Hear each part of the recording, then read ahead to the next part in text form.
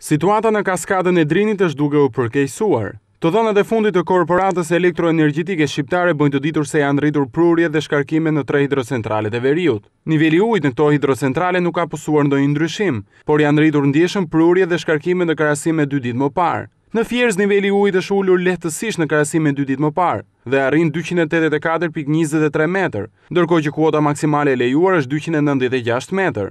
Në këtë hidrocentral prurjet janë rritur me 740 metër kub ujë në sekondë, ndërkohë që shkarkimet janë ulur me 193 metër kub ujë në sekondë. Edhe në Koman, niveli i ujit nuk ka pësuar ndonjë ndryshim krahasuar me dy ditë më parë, dhe mbetet në kuotën 171.24 metër, por në Koman janë rritur ndjeshëm prurjet dhe shkarkimet. Këto të fundit janë rritur me 205 metër kub ujë në sekondë. Situata e njëjtë është edhe në hidrocentralin e Vaut të Dejës për sa i përket nivelit të prurjeve dhe shkarkimeve. Kuota në Vaun e Dejës është shtatëdhjetë e tre pikë dhjetë metër, ndërkohë që kuota maksimale e lejuar është shtatëdhjetë e gjashtë metër. Rritje më të madhe në këtë hidrocentral kanë pësuar prurjet, të cilat janë rritur me katërqind e gjashtëdhjetë e një metër kub ujë në sekondë, ndërkohë që edhe shkarkimet janë rritur me njëqind e pesëdhjetë e gjashtë metër kub ujë në sekondë. Shifrat tregojnë se situata në basenet e hidrocentraleve është drejt përkeqësimit, si pasojë e rritjes së prurjeve dhe shkarkimeve në këto tre hidrocentrale. Ky përkeqësim konstatohet nga një krahasim i bërë mes shifrave të raportuara nga KESH në ditët e fundit.